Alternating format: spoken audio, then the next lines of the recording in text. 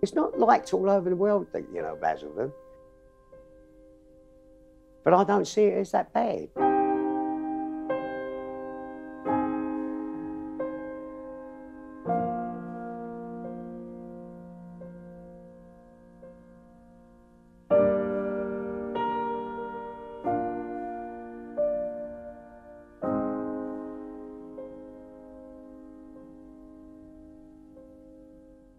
That's what a so-called harsh environment can bring.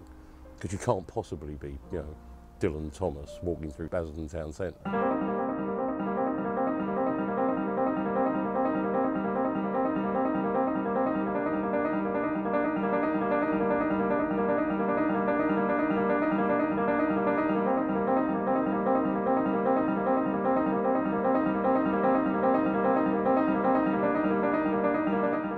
Probably a lot of people probably felt part of a great experiment. I suppose you've got to experiment somewhere.